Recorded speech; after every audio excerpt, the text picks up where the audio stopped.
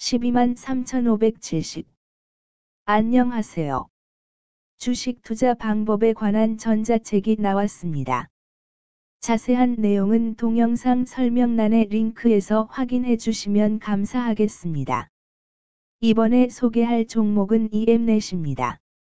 EMNet, 은, 는 동사는 2000년 4월에 설립되어 국내 주요 인터넷 포털 사이트를 통한 광고 기획 및 광고 대행 사업을 주 사업으로 하고 있음 동사는 2000년 4월에 설립되어 국내 주요 인터넷 포털 사이트를 통한 광고 기획 및 광고 대행 사업을 주 사업으로 하고 있음 동사는 디지털 통합 컨설팅 역량을 고도화하기 위해 글로벌 플랫폼 업체 및 글로벌 솔루션 업체들과 파트너십을 맺고 자체 기술력으로 솔루션을 개발하여 국내와 일본에 특허 등록함.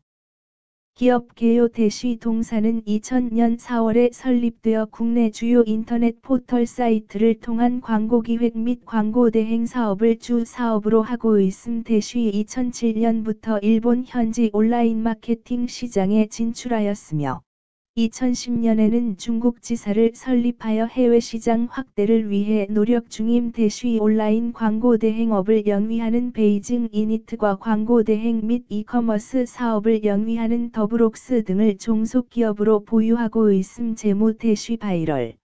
캠페인 등의 용역 수익이 감소하였으나 디지털 광고 시장의 성장으로 네이버의 광고 취급고가 확대되며 전년 동기 대비 매출 신장 대시 지급 수수료 증가 등에 따른 영업 비용 부담 확대로 전년 동기 대비 영업이익률 하락.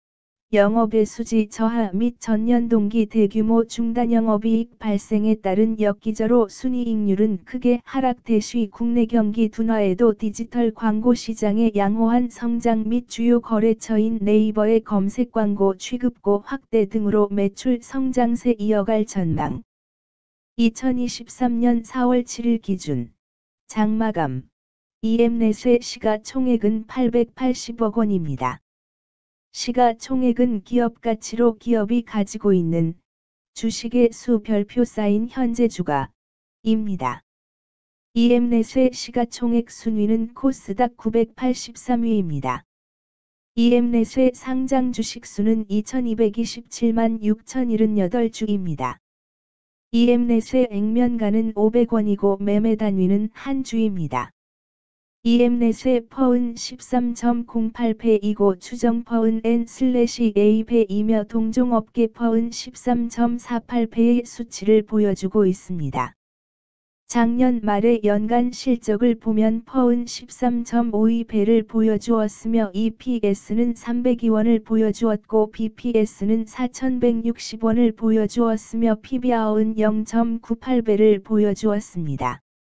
EPS는 302원이고 추정 EPS는 N/A1입니다. PBR과 BPS는 각각 0.95배, 4,160원이며 배당 수익률은 2.28%입니다. 네이버 증권 기준 투자 의견은 5점 만점의 N/A이며 목표 주가는 N/A1입니다. 영업이익은 영업소득 대시 영업비용 으로 영업이익이 크다는 것은 회사가 돈을 잘 벌었다고 생각할 수 있습니다.